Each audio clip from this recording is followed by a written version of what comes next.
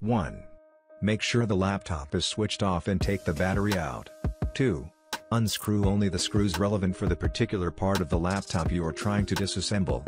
There are signs engraved right under or beside the screw as a guide. 3. Take all the relevant screws out. 4. Gently remove the touchpad portion and disconnect its wire from the laptop. 5. Gently lift the keyboard and also disconnect it from the laptop. 6.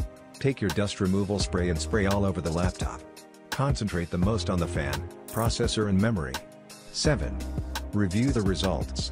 Once done, the inside of a laptop should look like this. 8. Put everything back the way it was. Make sure you gently press the connector of a keyboard to connect it to the laptop as well as the touchpad. 9. Screw again the back of a laptop in the same order. 10. Enjoy your clean laptop.